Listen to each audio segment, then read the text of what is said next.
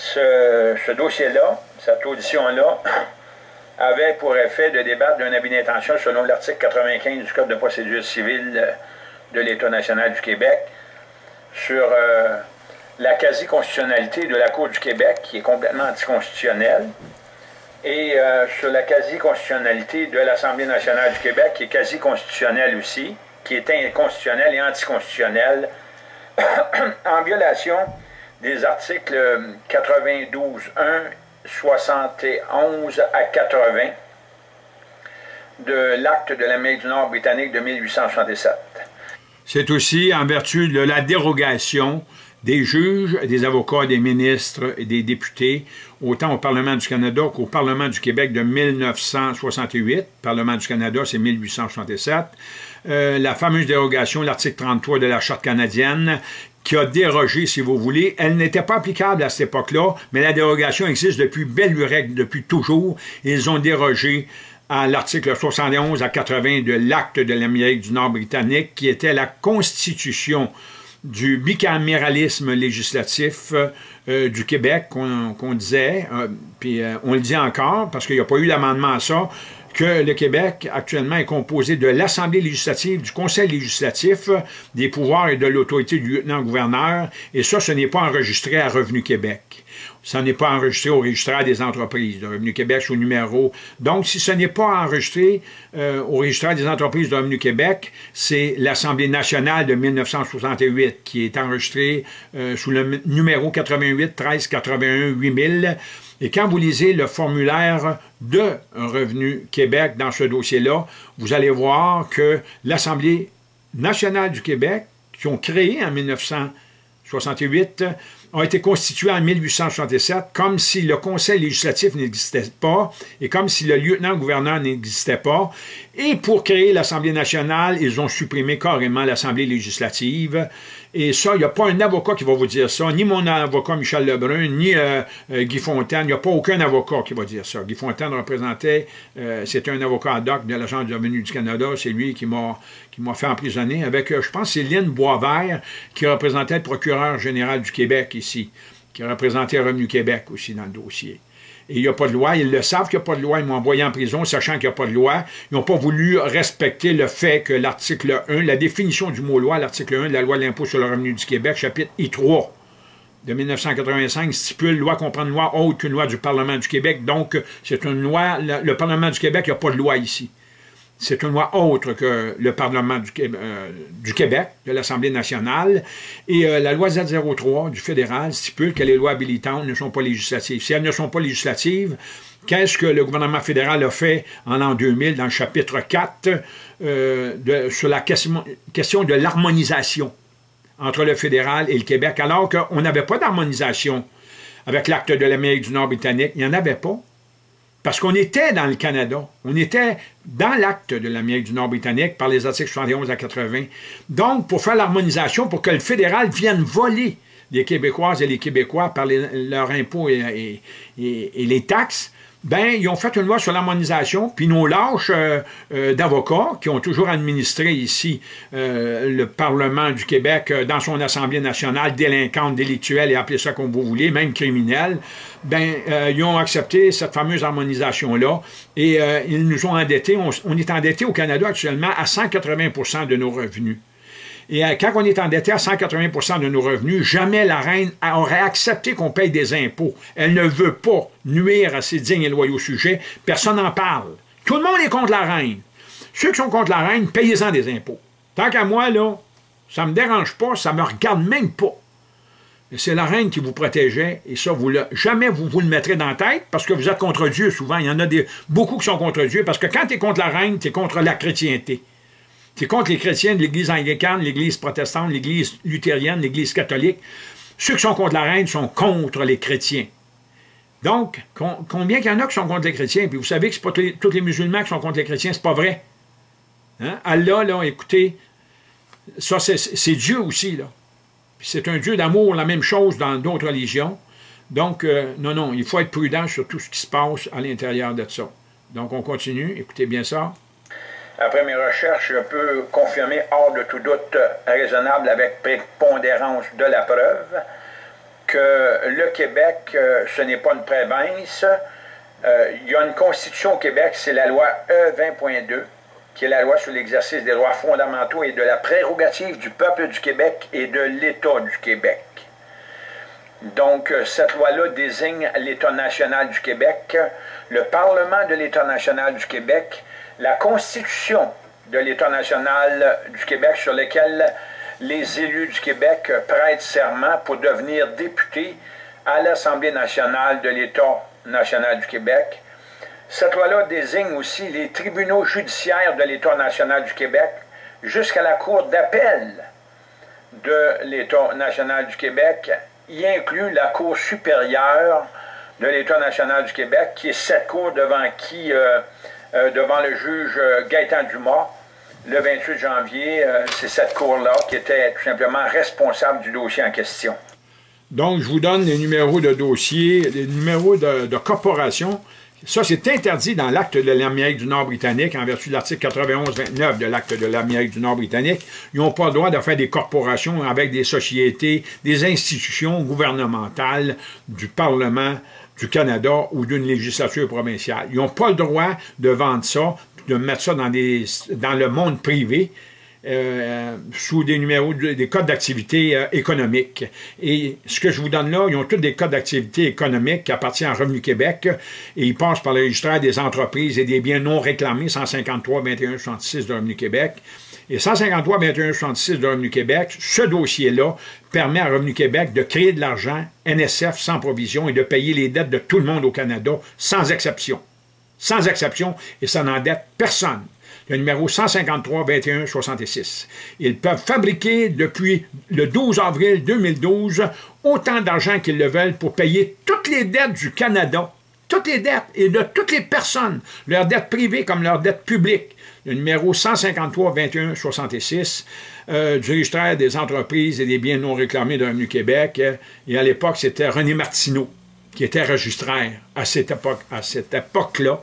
Euh, au registre des entreprises. Donc, la Cour d'appel du Québec, en violation euh, de l'article 91-29 de l'Acte de l'Amérique du Nord britannique, est enregistrée à Revenu Québec sous le numéro 88 31 85 67 19.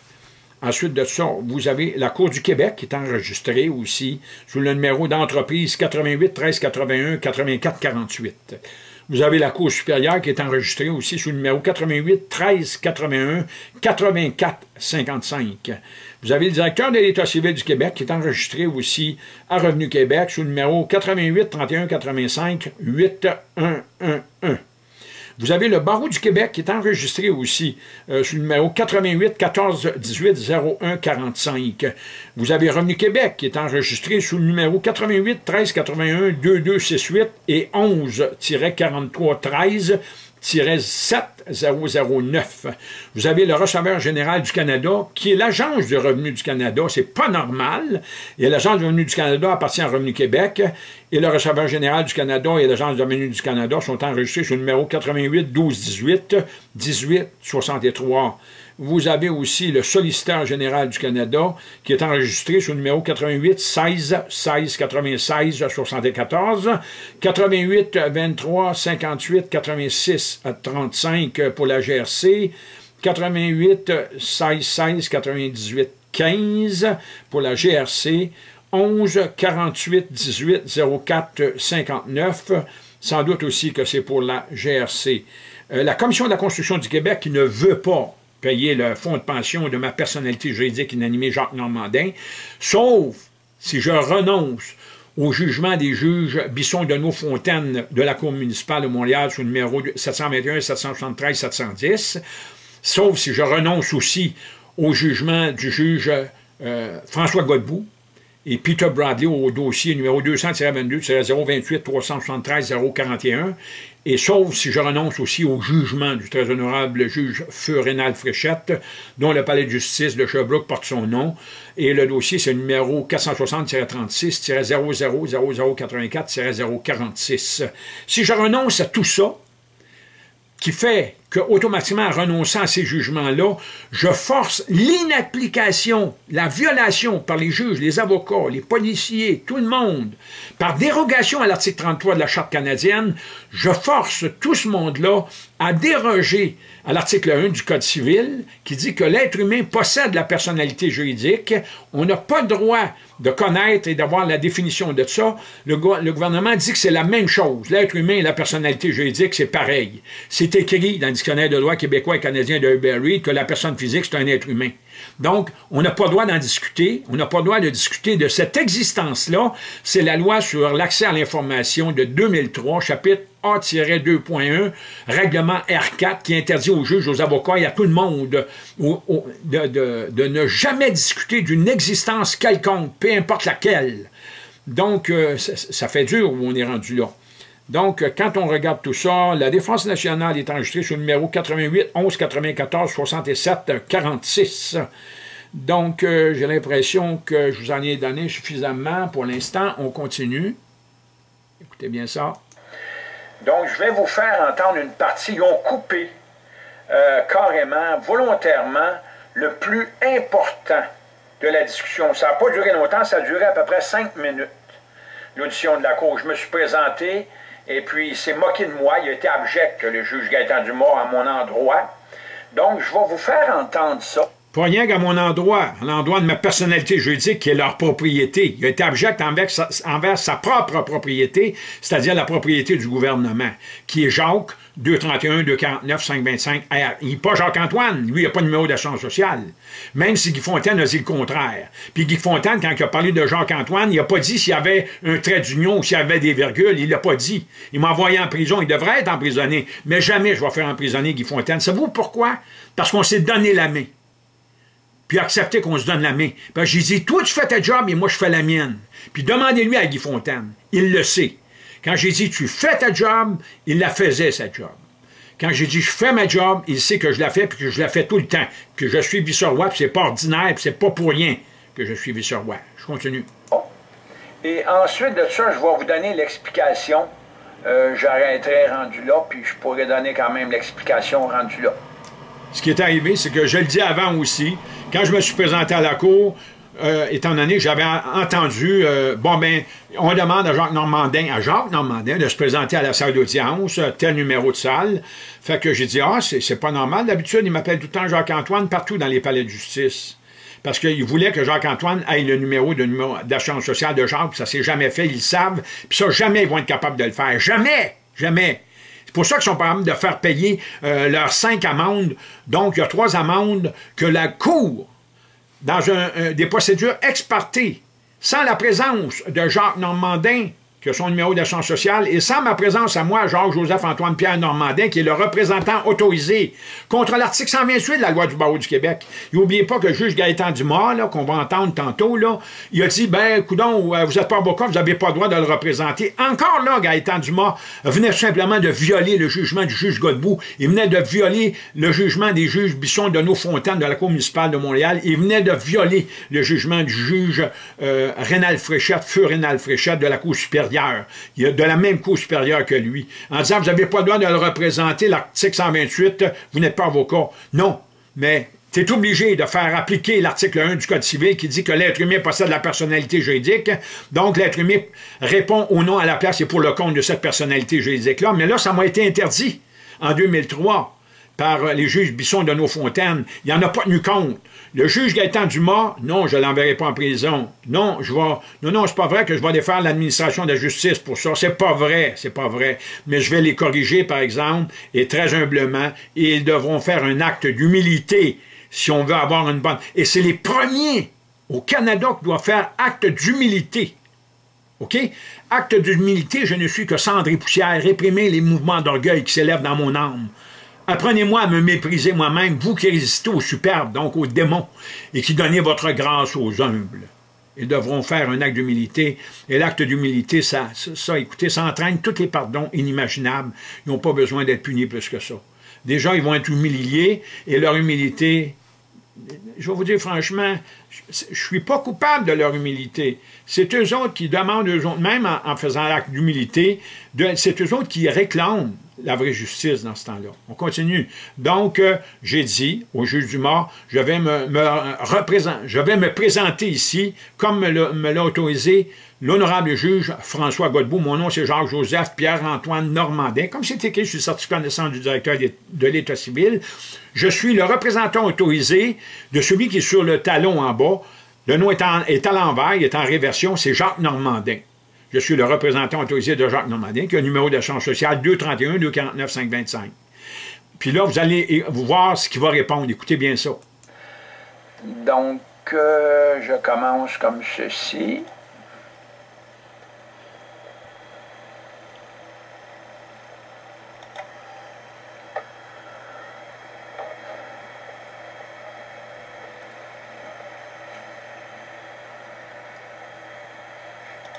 Ce pas. Donc,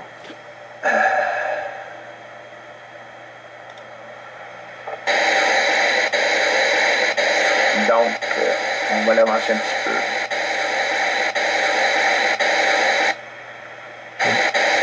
Ça sera pas long. Ça sera pas long.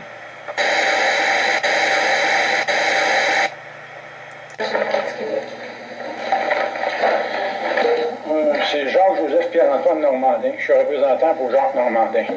Euh, regardez donc. La salle est pleine, j'ai pas de temps à perdre, les niaiseries, c'est pas la place. J'ai lu vos procédures, là, et euh, vous prenez la place de d'autres personnes. Alors, quel est votre nom, monsieur? Euh, écoutez, euh, moi, je vous demanderais... votre nom? Non, écoutez, je vous demanderais de vous récuser. Vous étiez dans le dossier de Jean-Marie Joseph Arthur Normandie. Écoutez, je vais, je vais mettre ça plus, plus fort. Je vais mettre mes haut-parleurs parce qu'on entend mal.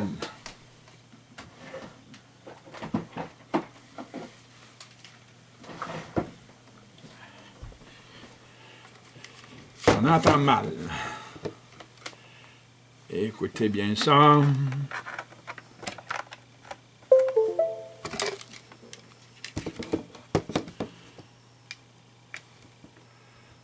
On recommence. Donc, euh, on va l'avancer un petit peu.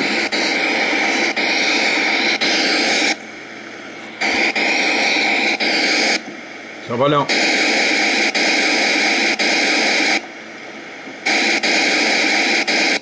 Perdre, les niaiseries, c'est pas la Écoutez bien ça. Voilà. Comment va, chez vous? Écoutez bien ce qui se passe là.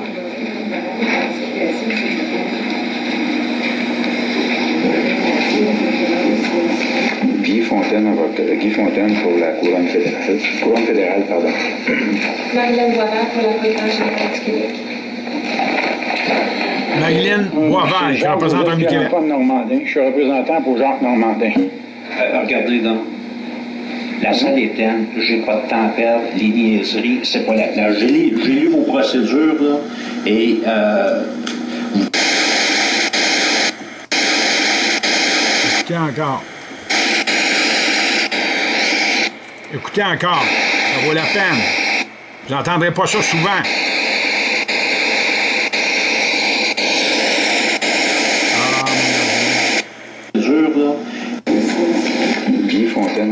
Guy Fontaine pour la couronne fédérale. Couronne fédérale, pardon.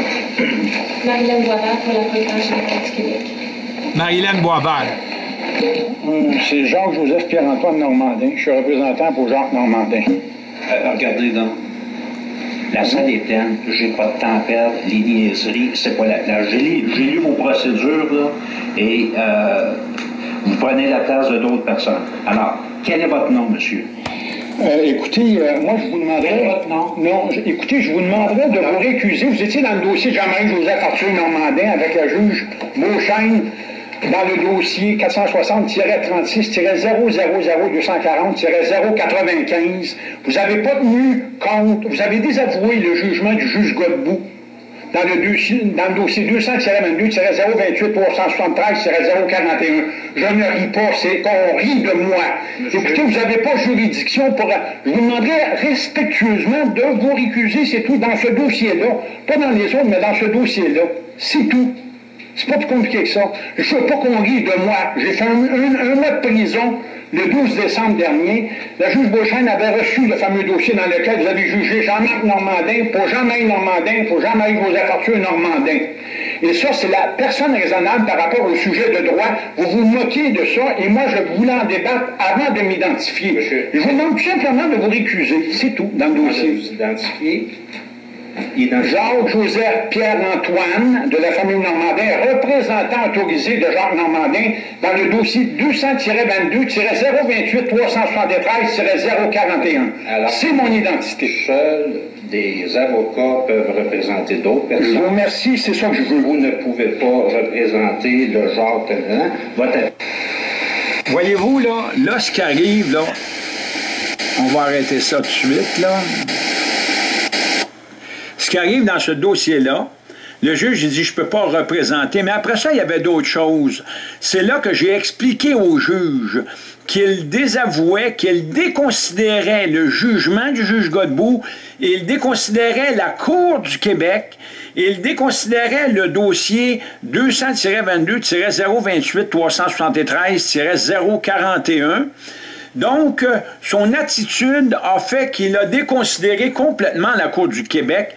Il se moque de la Cour du Québec. Et pas rien que ça, c'est que la Cour du Québec, pour que l'honorable juge François Godbout et Peter Bradley rendent jugement en faveur de Jacques-Joseph Pierre-Antoine Normandin, comme puis c'est déclaré par écrit qu'il est le représentant autorisé, j'ai les notes sténographiques de ça, qu'il est le représentant autorisé de l'inanimé prénom Jacques et du surnom Normandin qui fait un pseudonyme et Jacques un numéro d'assurance sociale 231 249 525 et un numéro d'assurance sociale, c'est comme une licence qu'on met dans le cou d'un chien.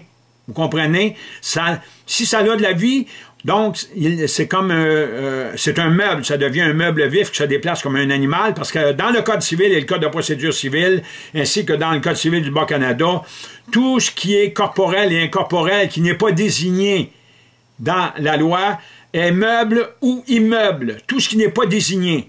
Puis quand on parle de baptiser, quand on parle de nature humaine, ce n'est pas désigné nulle part dans les lois la nature humaine. Donc c'est meuble ou immeuble. C'est écrit dans les articles de loi du Code civil du Bas-Canada et du délectuel Code de procédure civile et de Code civil du Québec depuis 2014. Et le Code civil du Québec, le nouveau Code civil, c'est de 1991.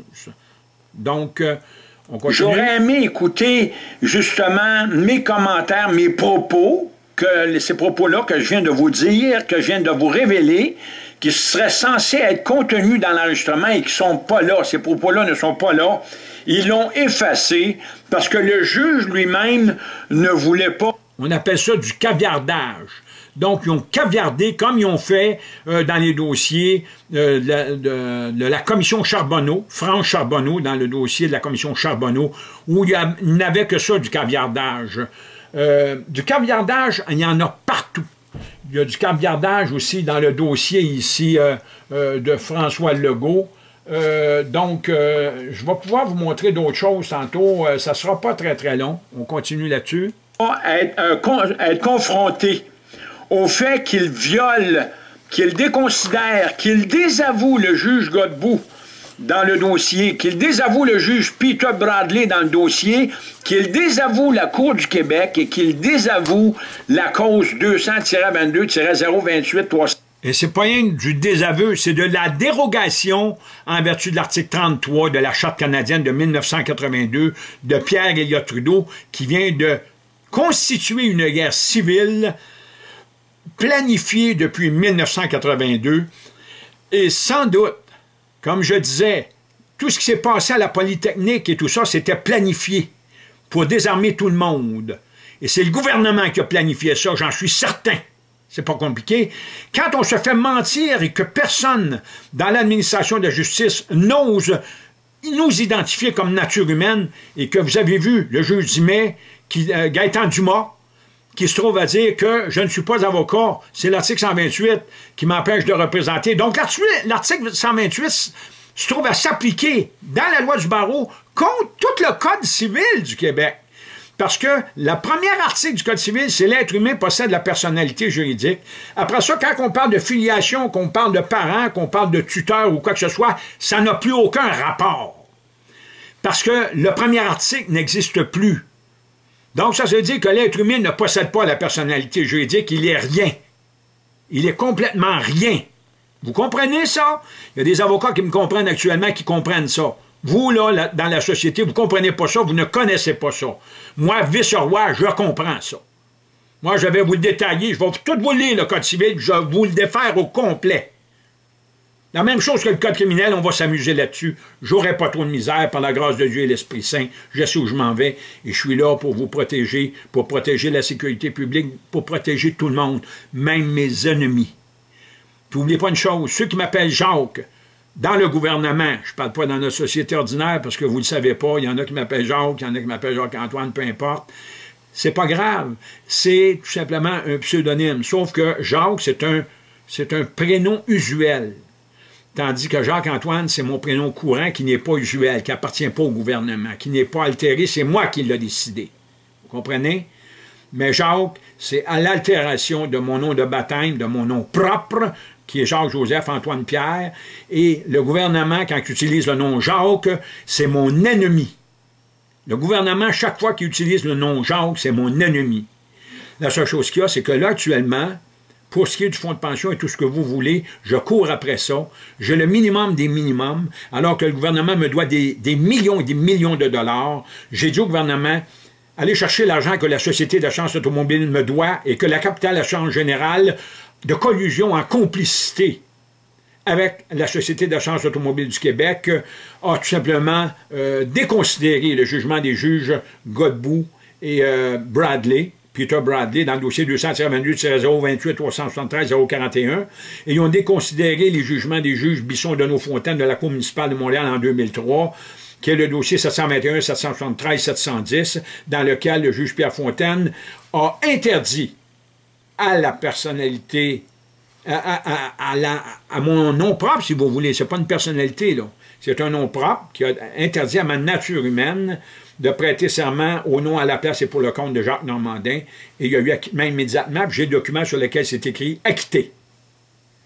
C'était euh, euh, euh Myrto Adriane, qui était procureur de la couronne municipale de Montréal. Dans ce dossier-là, c'était Myrto, maître Myrto Adriane.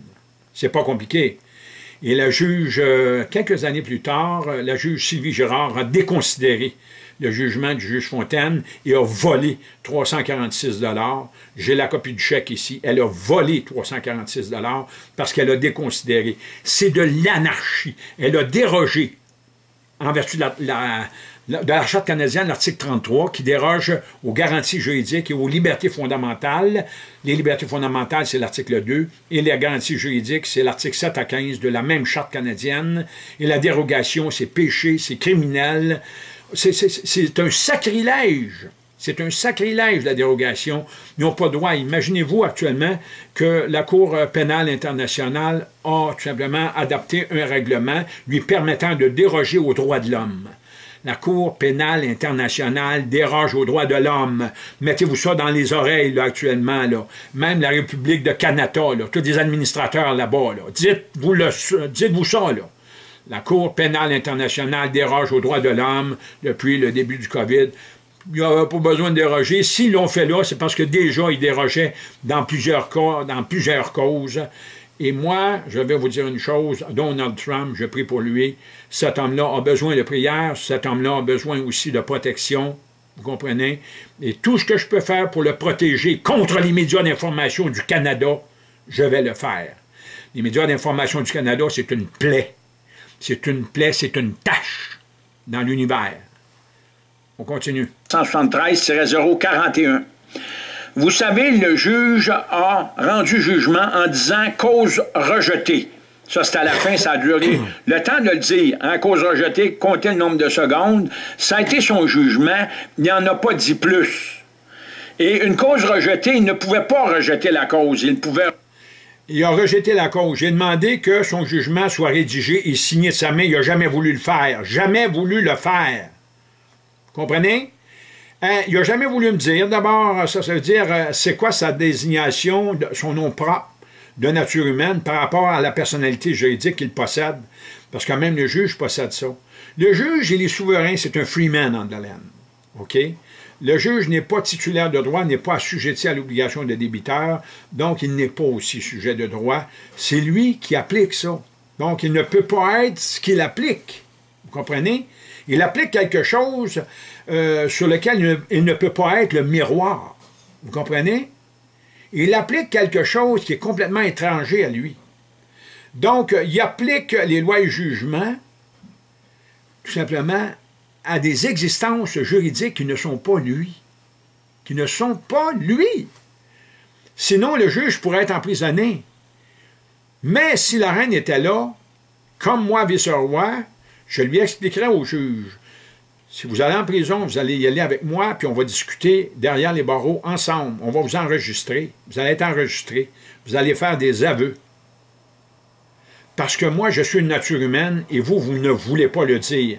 Vous allez me dire dans quel milieu occulte vous faites partie. Quel Satan? Quel est votre Satan qui vous gouverne, vous?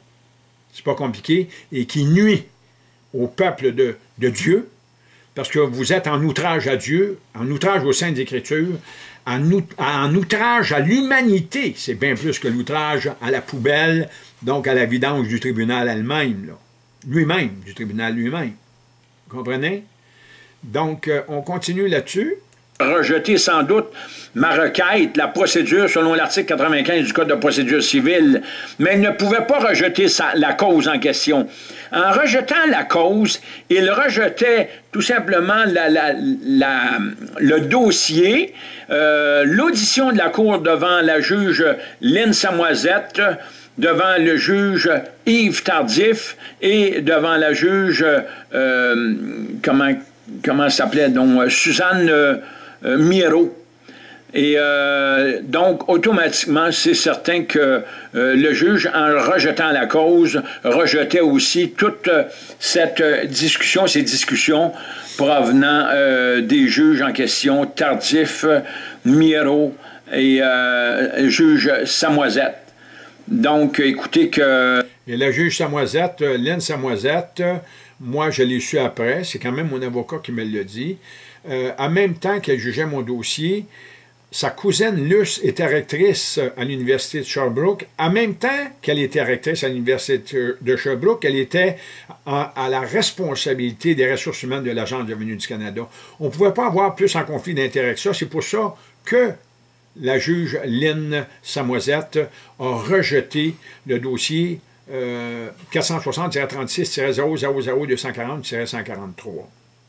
Elle n'a pas voulu faire un débat de nature constitutionnelle et moi, je suis ferré pour faire le débat. Il n'y a pas de problème avec ça, mais elle n'a pas voulu euh, s'engager dans ce genre de dossier-là. Et ça, c'est totalement malheureux parce que ça, pouvait informer euh, les membres du barreau et, euh, on dire, comme on dit, euh, ce qui est tabou euh, aurait sorti du tabou pour devenir quelque chose de, réel, quelque chose de véridique qui puisse lancer une correction dans le système. Mais le statu quo doit rester. La corruption, la collusion, ça doit rester. Et je suis contre le statu quo actuel qui est contre nos traditions politiques, judiciaires et chrétiennes. Vous comprenez? Et chrétiennes. On continue. Là, présentement, lui, Gaëtan Dumas, qui est le juge au dossier, euh, s'est moqué carrément de moi.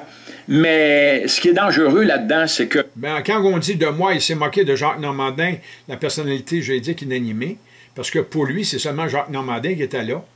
Donc, Jacques Normandin n'a pas le droit d'être tout seul devant le tribunal. Il est obligé d'avoir un avocat. Pour quelle raison que le juge accepte n'importe quel juge devant n'importe quel tribunal? Même en Cour municipale de Montréal, il accepte tout le temps un, un, un justiciable tout seul, sans avocat. Pourquoi? Parce que si le justiciable connaît ses droits et commence à l'expliquer à un avocat, comme moi ici, je l'ai fait avec euh, Patrick euh, Boucher, euh, du cabinet Boucher-Landry, Maître-Claude Landry, qui est rendu euh, au tribunal des droits de l'homme ici au Canada. Écoutez, le, cabinet d'avocats Patrick Boucher, euh, Maître-Claude Landry, ces gens-là, jamais, jamais vont répondre à ce que je leur demande. Là, il y a un chien qui est rendu à la direction de l'hôpital Brown-Misqua Perkins, là, Patrick Boucher. Et là, bien, je vais en profiter pour lui demander qu'il envoie tout simplement une carte d'assurance maladie à Jacques-Joseph-Antoine Pierre, sans nom de famille, et il n'y aura pas de numéro là-dessus. Je vais être très rigoureux là-dessus, parce que ça fait longtemps qu'il est au courant de ce que je fais. Ça fait longtemps. Et je sais qu'il y a des gens qui ont gagné avec Patrick Boucher. Ah oui, c'est facile de faire gagner quand c'est des chicanes de clôture. Un gars qui a un problème d'immeuble, un gars qui a un problème de, de, terrain ou euh, empiètement ou de droit de passage, vous appelez ça comme vous voulez, ça part devant les tribunaux. Les, les, gens gagnent. C'est des chicanes de clôture. Une chicane de clôture, c'est facile à régler. Pas besoin d'avoir du droit constitutionnel là-dessus. La loi sur l'expropriation, tous les articles sans exception, c'est du vol. tous les articles sans exception, c'est du vol. La loi sur l'expropriation au Québec. Pas des farces, hein? Donc, euh, on continue là-dessus. Euh, quand on sait que volontairement, ces gens-là ont étudié le droit, ont la, pratique du droit comme avocat, et qu'ils trompent la population en coupant des notes sténographiques en vertu de l'article 2858 du Code civil du Québec de 1991, qui dit que nul ne peut révéler des vérités qui déconsidèrent l'administration de la justice il venait par son comportement déconsidérer l'administration de la justice lui-même. Vous passez devant ces juges-là. Tout le monde, ceux qui ont de l'argent, qui veulent sauver de l'impôt, ceux qui sont coincés à cause des lois, qui sont complètement illégales, illégitime, anticonstitutionnel et même déclaré quasi-constitutionnel par euh, Benoît Pelletier, qui a déclaré lui-même quasi-constitutionnel la Charte des droits et libertés de la personne du Québec. Voilà le document ici, je vous le montre. Voyez-vous? Je ne sais pas si on va le lire à l'envers ou à l'endroit. Attendez un petit peu. Numéro 2, hiver. Donc, on commence ici. On peut le voir. Ça se lit. Moi, je le vois sur mon écran à l'envers, mais je pourrais le lire quand même. Vous voyez ici, là? Donc, euh, regardez, j'ai, ça a été envoyé par courrier recommandé. Regardez, il y a un petit sticker rouge, là. Ça, c'est mon courrier recommandé, même s'il n'y a peut-être pas eu de signature parce qu'on ne veut plus signer les courriers recommandés. Au moins, j'ai la preuve comme quoi le courrier recommandé a été reçu par euh, le Conseil de la magistrature euh, du Québec, puis le Conseil de la magistrature ne me répond jamais, jamais, jamais, jamais. Voyez-vous le document, donc je vous le montre de proche et de loin? Voyez-vous, on le voit là. OK? Là maintenant, je vais vous le lire. OK? Bulletin droit constitutionnel numéro 2, hiver 2007. Une publication de l'Association québécoise de droit constitutionnel. Donc, ils disent ici, la nature quasi constitutionnelle de la Charte des droits et libertés de la personne du Québec et l'idée d'une constitution québécoise. Donc, c'est le bulletin québécois de droit constitutionnel numéro 2 de l'hiver 2007. Et c'est Benoît Pelletier, un avocat, un ancien ministre et député euh, du régime de euh, Jean Charest en 2003. C'est avec, puis ça, il dit ceci. C'est avec grand plaisir que j'ai accepté l'invitation qui m'a été faite de me joindre à vous ce soir pour la clôture du premier congrès de l'Association québécoise de droit constitutionnel. C'est Daniel Turp qui se trouve à être à la tête de ça. Daniel Turp, j'ai essayé de communiquer avec lui cette année, il ne veut pas me parler. Il ne veut pas du tout se mêler à quoi que ce soit qui me concerne et qui concerne le peuple. Il ne veut pas me parler. C'est pas compliqué. Et il fait partie tout simplement d'organisations très, très sérieuses il est au contentieux juridique du Bloc québécois. C'est pas compliqué. Je dois d'abord dire que j'accueille très positivement la création de votre association qui favorisera l'apport d'une perspective québécoise à l'étude du droit constitutionnel. À l'étude du droit constitutionnel. Ben oui, c'est Daniel Turb qui est là-dedans. Et Daniel Turb, jamais il va s'ouvrir la trappe là-dessus.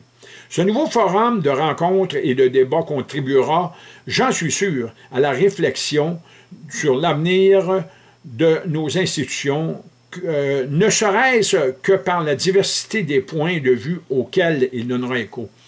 Euh, L'École nationale euh, publique, comment je peux dire, l'ENAP, l'École nationale d'administration publique est en arrière de tout ça. il y a différentes chaires universitaires qui font partie de ça. Et l'École nationale d'administration publique est au courant de tout ce que je fais. Je lui ai envoyé beaucoup, beaucoup de documents. Elle est au courant de tout ça c'est l'Université de Montréal avec l'Université du Québec à Montréal, avec les hautes études commerciales, ils sont tous ensemble. Euh, c'est les gens les plus chevronnés pour tromper la population. Donc, euh, vous voyez ici, et le numéro d'enregistrement ici, que vous voyez, le petit sticker, là, OK, vous le voyez, le petit sticker? Ça, c'est un courrier recommandé. Bien, il a été recommandé sur le numéro RN 513-970-985-CA.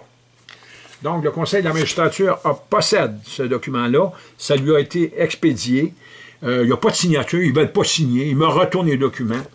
Euh, J'ai un document ici qui a été retourné. Écoutez, euh, je vais vous donner le nom de celui qui est responsable de ça.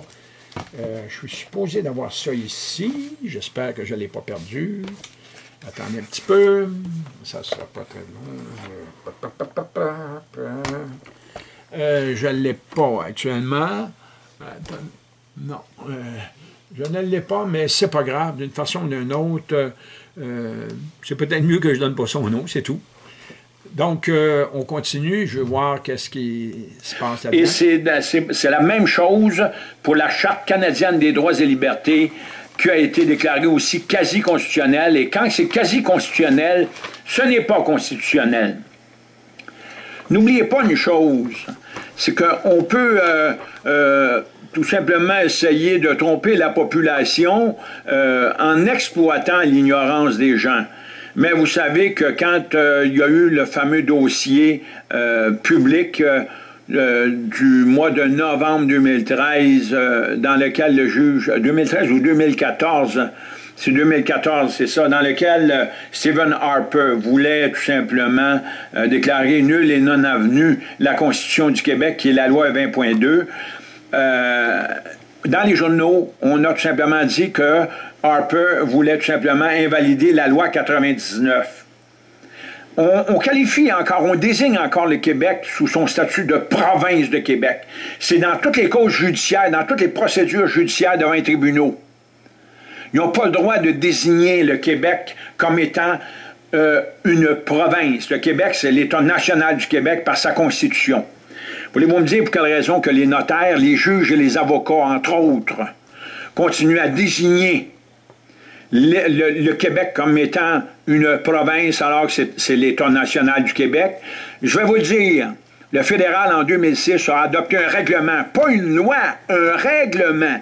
Le règlement CRC 391, chapitre 391, qui maintient la désignation de province pour le Québec de façon à ce que le fédéral continue à émettre les prestations d'achat chômage, d'allocation familiale et de fonds de retraite aux Québécoises et aux Québécois canadiens. C'est tout simplement ça. Donc, pour quelle raison ils ont voulu faire la démarche devant euh, la Cour supérieure du Québec pour invalider la loi 20.2 qui est la Constitution du Québec sur laquelle les députés de l'Assemblée nationale du Québec prêtent serment de respecter pour devenir députés, c'est-à-dire les élus, parce qu'ils ne sont pas députés encore. Pour être députés, ils doivent prêter serment de respecter la Constitution du Québec. C'est à l'article 15 de la loi de l'Assemblée nationale, l'Assemblée nationale du Québec, qui est la loi chapitre A23.1. Donc, euh, je... Là, je vous donne euh, justement le nom euh, de maître. OK, vous voyez ici. C'est le Conseil de la magistrature, maître Paul Crépeau. Il m'a retourné le document, quand même, en disant que c'était à mauvaise adresse, mais ça fait rien, ils l'ont eu, par courrier recommandé. L'adresse est ici. OK, elle est en arrière. Et euh, quand on regarde l'adresse, je vais vous le lire. Ici, c'est le 300 boulevard Jean Lesage, bureau RC-01, Québec, G1K, 8K6. Et c'est le conseiller à la magistrature.qc.ca. Et euh, c'est marqué information au singulier à commercial cm.go.qc.ca. Et chaque fois que j'envoie un document, il ne rentre pas, il est bloqué. Donc, le Conseil de la magistrature, actuellement, il est tout simplement, son directeur, au lieu que ce soit un juge impartial, c'est un avocat du barreau du Québec, donc il rend des rapports à la commission du barreau du Québec qui a le contrôle sur le lieutenant-gouverneur, qui a le contrôle sur, sur tout le Conseil de la magistrature du Canada et du Québec, et c'est maître Paul Crépeau qui est directeur exécutif donc, Paul Crépeau, directeur exécutif euh, du Conseil canadien et du Conseil de la magistrature du Québec. Et ils portent le même numéro, le Conseil canadien et le Conseil de la magistrature du Québec. Et, euh, attendez un petit peu, je crois que je l'ai ici. Euh, Conseil de la magistrature, ici, c'est le numéro 88 1705 89 26. Donc, que ce, que ce soit le Conseil canadien ou le Conseil de la magistrature du Québec sont ensemble, ils portent le même numéro. Et ça se passe tout au Québec ici.